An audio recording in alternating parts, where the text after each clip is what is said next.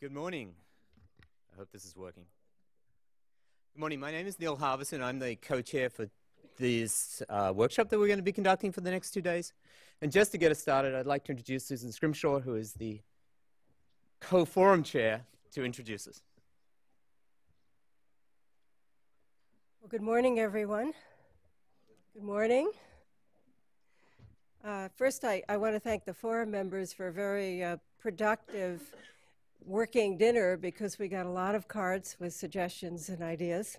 And I want to welcome everyone who has joined us for really a long awaited workshop on accreditation. We've been talking about this uh, probably since the forum began, but certainly since I joined the forum. Every, every, time we try to think about innovation in health professions education, we come back to the question of, but are the accrediting bodies keeping up with the innovations?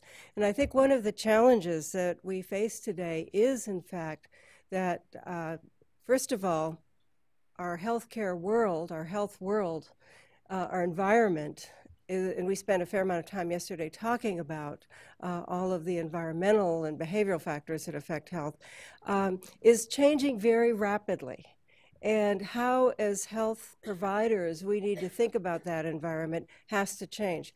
We're struggling enough within our educational institutions to keep up with these changes and to anticipate the future so that we're producing graduates who can function in the world of the future and adapt as the world of the future changes. So we have that struggle.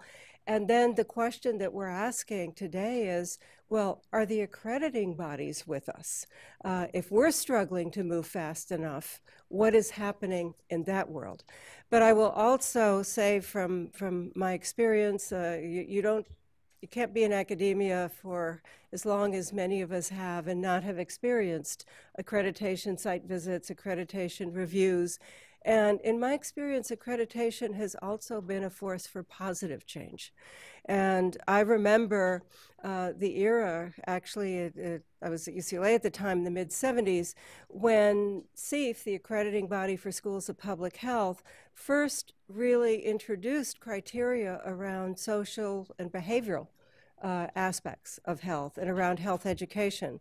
And that pushed the schools that were not yet thinking about that to put that uh, in, into their curriculum. So I see accreditation. I know that many of uh, many people, especially when you tell the faculty, you know, we got another accreditation come up, and they all groan. Uh, but I I see it as a force for positive change.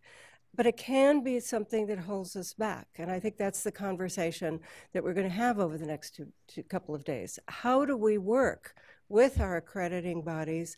How do our accrediting bodies work with us to be a force for positive change.